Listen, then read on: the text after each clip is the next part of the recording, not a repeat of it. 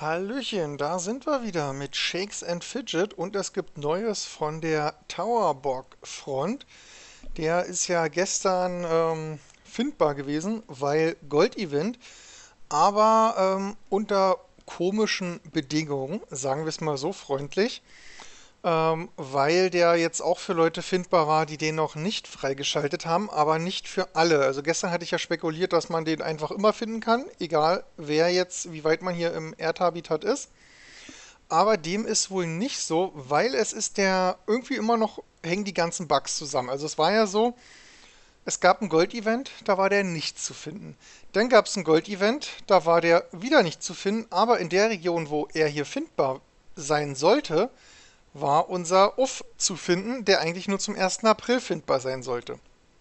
Und jetzt ist es wohl so, dass die Leute, die Uff freigespielt haben, anstelle Uff jetzt zu finden, den Towerbock finden in den Ebenen von Otzcore. Also, ist da irgendwie immer noch ein kleiner Programmierfehler drin. Einige Leute im Forum haben jetzt schon wieder rumgeflamed. Ja, hier, ähm, denen wurde auch schon wieder das Pad weggenommen. Da gab es bis jetzt noch keine Bestätigung für.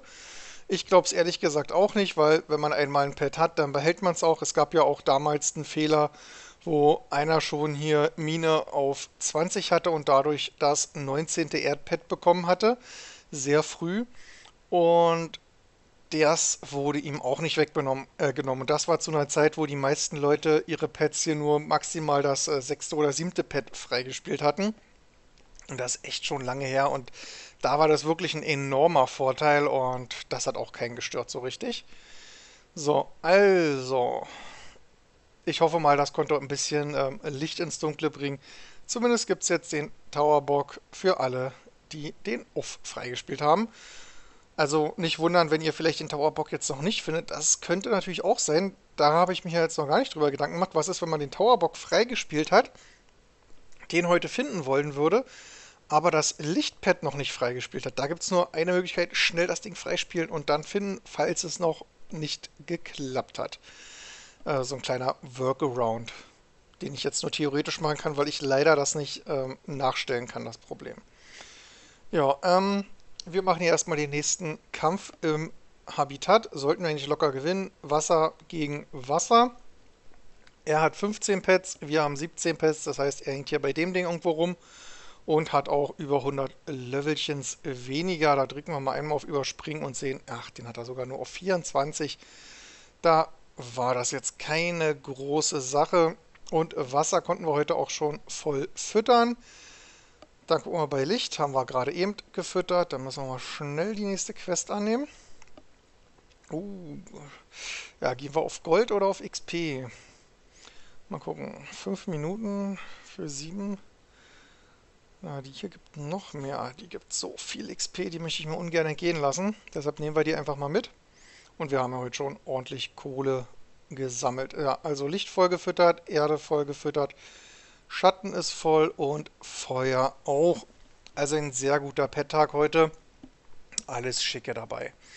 Ja, wir können jetzt einen Kampf im Schattenhabitat machen. Ich glaube aber nicht, dass wir das Ding gewinnen. Da müssen wir noch ein bisschen warten.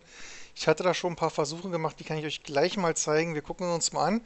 Wir machen hier irgendwie nur, also ich gehe jetzt nicht von den HP-Werten aus, sondern einfach mal davon, wie weit die Leiste runtergeht. Und wenn wir nicht kritten, ziehen wir irgendwie nur ein Drittel oder so ab von dem, was wir abziehen müssten, um da irgendwie eine Chance zu haben. Und das ist absolut nicht genug. Und wenn wir kritten, schaffen wir immer noch nicht so viel abzuziehen, wie er, wenn er nicht krittet.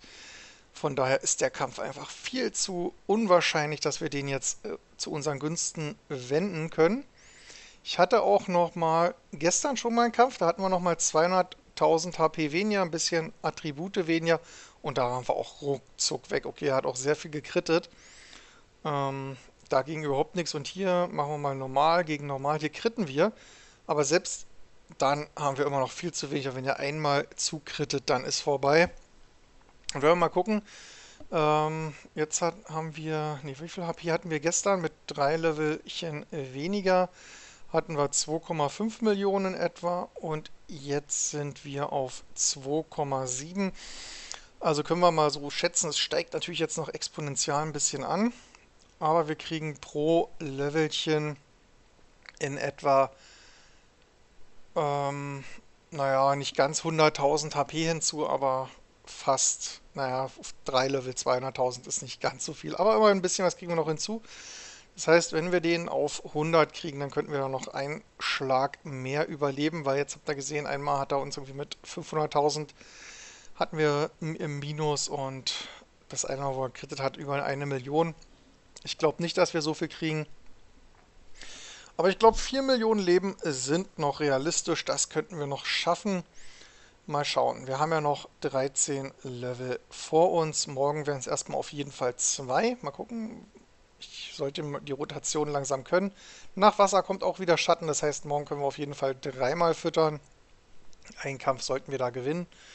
Und dann mal gucken, wie es da so weitergeht. Dann sind wir schon Stufe 90 und ich glaube, dann sind wir in etwa gleich stark, wenn wir das hier so mal vergleichen. Von den Werten her sind wir schon ein bisschen drüber und so viel Unterschied vom Level ist da auch nicht mehr. Das passt bald. So, dann schnell am Glücksrad gedreht. Ein bisschen XP, ein bisschen Gold und einen Bogen gefunden und alles durch. Eine Kette noch und durch sind wir damit. Oh, sogar zweieinhalb Millionen wert. Das gar nicht mal so wenig. Was ist heute eigentlich bei der Hexe Gürtelchen? Haben wir keinen mehr da. Schade. Die Waffe heben wir mal auf jeden Fall auf. Das Ding verkaufen wir, wenn auch irgendwas kommt. Ja, oder? Wir können, glaube ich, auch einen Edelstein wegwerfen. Ja, ähm, Edelstein suchen werden langsam wieder rentabler. Die Leute kommen zurück in unsere Gilde. Zwei Leute fehlen noch. Dann sind wir auch wieder bei 700 Ritterhalle. Und es führt einfach dazu, hier der Edelstein, der große, den wir gestern gefunden haben, mit 566, hier mal wieder einen mittleren, der ist sogar schon drüber. Und dann nehmen wir einfach mal den großen und verkaufen, weil den kann ich nicht mal meinen Begleiter reinsockeln, weil der so schlecht ist. Also echt, Ritterhalle ist, glaube ich, mehr wert, wie irgendwie ein bisschen ähm, jetzt die Mine ausbauen und so. Das bringt da, glaube ich, gar nicht mal so viel. Und wenn wir mal schauen, bei der Gilde Ritterhalle haben wir noch in etwa 300 Stufen, die wir noch erreichen können. Und wenn ich jetzt gesehen habe, was die, ähm, naja, was waren es, 150 Stufen, die uns da jetzt gefehlt haben, gestern ausgemacht haben, ist das schon echt extrem. Also da wird noch ein bisschen was auf uns zukommen. Von daher, Ritterhalle ist echt super wichtig, die gut auszubauen. Und, ach so, stimmt, ich hatte auch noch einen Ausdauer-Edelstein gefunden, einen großen gestern noch. Der war für gestern Verhältnisse super gut mit 607, aber es wäre natürlich auch schon 40 Punkte mehr drin gewesen, besonders da der am oberen Ende der Skala wohl gelegen hat. Aber ich habe ihn trotzdem reingesetzt, gab ein paar Pünktchen Ausdauer hinzu und dadurch waren wir auch ein bisschen stärker. Den Rest verskillen wir jetzt mal schnell und gucken mal, wie unser Schaden dabei hochtickt. Und zack, zack, zack, zack, zack. Zu wenig Gold, schade. Aber immerhin ordentlich mehr Schaden und ein paar Pünktchen mehr Geschick. Oh, wir kriegen bald 9000 Basisgeschick. Schön, noch vier Punkte. Mal gucken, müsste heute noch drin sein. Wir haben ja noch ein paar Alu übrig. Das sollte machbar sein. Aber ist jetzt nicht so entscheidend. Hier, da hat sich die letzten drei Tage auch nicht wirklich was getan. Beim Gildenportal gestern war ja echt peinlich. Nur 3 Millionen gemacht. Heute schaffen wir schon ein bisschen mehr. Da ziehen wir den schon mal ordentlich was ab. Und nochmal 10 Millionen. Richtig schön. Aber ich glaube, wenn er uns jetzt einmal trifft, sind wir weg. Gucken wir mal. Und da kommt ein normaler Schlag und der geht einfach mal über die Skala raus. Aber trotzdem 2% abgezogen. Richtig schöner Versuch. Das macht es von gestern wieder so ein bisschen. Gleicht das aus. So, Portal, der ist jetzt wichtiger. Hier müssen jetzt die Ausweichversuche kommen. Wir müssen ihn auf unter 100.000 schaffen. Das ist unser Ziel. Alles, was darüber hinaus ist, da freue ich mich riesig. Und wir gucken mal. Die Schläge werden hier abgewechselt. Ah, oh, das war böse. Jetzt müssen wir auch mal treffen. Sehr schön. Ein Crit und noch einer hinterher. Sehr gut. Und noch ein Crit, dann haben wir es geschafft. Oh, oh, oh, oh. So, noch ein Treffer. Und sehr schön. So, nicht kritten darf er uns nochmal, aber er krittet uns. Verdammt. Naja, 14 Millionen drüber abgezogen sind auch noch ein paar Prozent mehr. Da ist er schon auf unter 20. Sehr schön. Ja, das mit dem Raid, mit der Raid-Hilfe oder wo jetzt eigentlich die Sammelalben voll gemacht wurden, hat alles so funktioniert. Einige haben 14 Bilder oder mehr dazu bekommen. Richtig schön. Das gibt natürlich ordentliche Prozente bei der XP. Wir können ja mal kurz gucken, wie es der Gilde jetzt so geht. Nachdem die ganzen Leute wieder weg sind, nur noch 35 Hanselns da und da fehlen ja auch, glaube ich, noch ein paar von uns, sind auch noch da, die jetzt noch nicht online waren heute nach dem Raid. Hier, der zum Beispiel wird auch, glaube ich, wieder rüberkommen. Und vielleicht hat ja der eine oder andere noch jemanden überredet, um vielleicht auch noch mitzuwechseln. Hier sind ja auch welche dabei, die sind vom Level her gar nicht mal so niedrig, wenn man sich das mal anguckt. Wurden auch gut in unsere Reihen passen. Oh, auch wieder so eine richtig geile XP-Quest. Da kann ich natürlich nicht Nein sagen. Und hier sehen wir wieder, dass das gekappt ist. 7,5 Minuten Quest mit 7,5 Min äh, Dings Gold. Gibt natürlich auch hier eine 2,5 Minuten Quest, die hat schon mehr Gold. Also von daher muss man da echt immer aufpassen. Ich bleibe einfach auf XP, da kann ich nichts falsch machen. Wird schon passen. Außerdem habe ich die Versuche für heute gemacht und da kann eh nichts mehr schief gehen. Und ich muss ja hier so ein bisschen meinen Vorsprung halten. Mal gucken, hier nur noch zwei Level Abstand. Das ist echt nicht mehr viel. Ich glaube, der hatte schon mehr Rates down. Muss ich mal kurz gucken. Äh, nee, Dungeon-Etagen hat er 71 und ich bin bei 70. Also 300.000 XP hat er schon mal mehr geholt. Gibt mir nochmal einen kleinen Vorsprung. Aber trotzdem, wer weiß, ob ich jetzt im Urlaub alles schaffe, was ich mir vorgenommen habe. Ich bin mir auch nicht sicher, ob ich es schaffe, die Videos, die ich jetzt eigentlich machen wollte, vorzuproduzieren. Es kann sein, dass es dann äh, bis Oktober keine Filme mehr von mir gibt, dann ab äh, Dienstag oder so. Oder Dienstag sollte ich noch schaffen, aber Mittwoch könnte dann echt eng werden. Muss ich mal schauen, ob wir das, äh, wie wir das dann am dümmsten lösen. Irgendwie wird das schon weitergehen. So, Kämpfe haben wir hier alle gemacht. Und hier sind wir auch durch. Gibt keine Items, keine ordentlichen mehr. Festung. Ah, genau, doch. Ich hatte noch ein paar Kämpfe. Festungsabwehr. Hat mir hier einer mal an dem Tag irgendwie die ganze Zeit angegriffen und immer was geplündert. Und dann hatte ich auch noch einen schönen Versuch bei Jan. Den wollte ich euch natürlich nicht vorenthalten. Können mal gucken. Hier, unser Bertram hat gut Schaden gemacht. Magier Marquardt nicht ganz so doll. Aber ich glaube, Kunigunde hatte hier einen schönen Versuch, hat gut was abgezogen. Und jetzt sehen wir mal, wie oft ich ausweiche. Mal gucken, ob ich mich diesmal verzähle oder nicht. Mal gucken, dann schon beim zweiten Mal und kritten wieder ordentlich. Dritte Mal ausgewichen, er blockt auch mal. Äh, warte mal, was jetzt schon fünfte Mal? Sechste Mal, glaube ich. Ja, habe ich mich, glaube ich, schon wieder verzählt. Äh, verdammt. Achtmal und wir kritten weiter. Neunmal. Und die magische Grenze überschritten. Zehnmal ausweichen und ein elftes Mal sogar. Noch ein zwölftes Mal. Und da kommt sein Crit. Da hat man schon gesehen, der Hammer fliegt etwas höher. 111 Millionen. Ah, noch zweimal mehr ausweichen hätte es sein können. Aber naja, da hätte auch uns Ausdauerskillen en masse nichts genutzt. Da muss einfach mehr Schaden her und unsere Begleiter müssen noch... Ach, die hätten wir mal leveln können. Da wir jetzt ja eh Event haben. Mal gucken, haben wir noch ein bisschen Kohle. Können wir hier noch was reinstecken? Mal schauen. Achso, was ich mal gucken wollte, den haben wir jetzt noch nicht geskillt. Gehen wir mal kurz in den Kampf rein und gucken mal noch mal kurz. Da war er noch 91 und hat 26.301 an Stärke. Gucken wir mal kurz. Und hier hat er 26.419. Ah, okay, weil ich Zwischenzeit auch geskillt habe. Okay, also können wir uns den Wert schon mal nicht angucken. Muss ich mal einen anderen nehmen. Aber die Nebenattribute habe ich definitiv nicht geskillt. Ähm, ich will mich mal was testen. Verrate ich euch gleich. So, nehmen wir mal Intelligenz. Er hat 6199, das sollte man sich merken können. Und hier hat er auch mehr.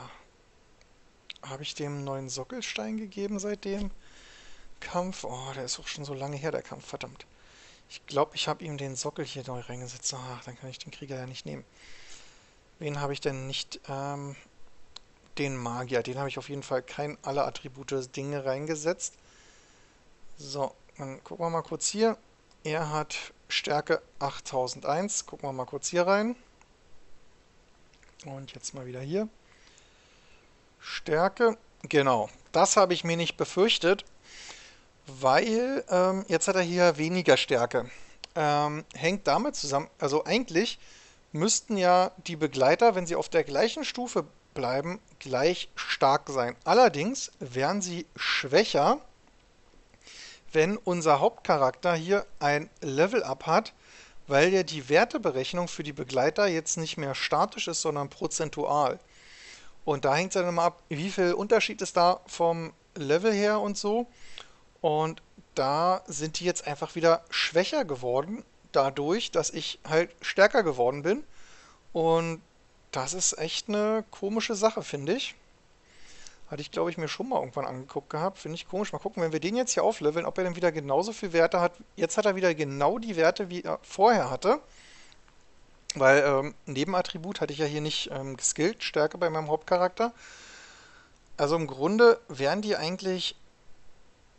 Naja, ist es denn vielleicht doch sinnvoller, auf Gold zu leveln, um möglichst starke Begleiter zu haben? Ach, ich weiß nicht. Müsste ich mir mal überlegen. Oder ich muss sie halt einfach immer auf meiner Stufe halten, dass die Werte dann halt wieder passen. Und ähm, so hoch sind wie halt meine, also halt die Basiswerte hier. Weil die fallen, wenn ich steige. Da muss ich den wieder leveln, damit er die gleichen Werte hat. Der einzige Vorteil ist, womit die Begleiter halt stärker werden, ist einfach mal durch die Ausdauerformel. Dadurch kriegen sie ein bisschen Ausdauer hinter, äh, hinzu. Und alles andere bleibt, glaube ich, gleich, weil alles andere ist nicht vom Level abhängig, sondern allein von den Werten. Und natürlich die Crit-Chance, ja. Wie stark sie äh, gekrittet werden können, aber das ist sowieso egal, weil die Gegner haben eh, glaube ich, der hatte, glaube ich, mehr als genug Crit. Können wir nochmal reingucken kurz. Beim Jan, oh nee, doch, ist vielleicht doch entscheidend. Er hat nur 4000 Crit, damit krittet er uns nicht ganz so oft. Ist dann vielleicht doch gar nicht mal so unwichtig. Also gut, haben wir heute was herausgefunden. Wenn wir stärker wären, wären die Turmbegleiter schwächer. Naja. Also zumindest ein bisschen. Ja. Das dazu und dann würde ich sagen, spiele ich hier noch ein bisschen meine Alu runter und gucke mir noch eine Flimmerkiste an. Vielleicht findet man auch noch die eine oder andere Frucht.